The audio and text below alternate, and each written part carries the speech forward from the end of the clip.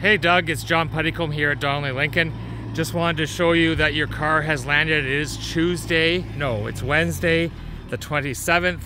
Um, so it's here, it's the beautiful burgundy color, nice rims on it. Uh, I'm gonna open the door here for you. Uh, it's got the nice uh, sandstone interior. I'll get in it real quick here for you. Start her up. It's got 578 kilometers on it, just so you know. So it was down, um, it was down past Toronto.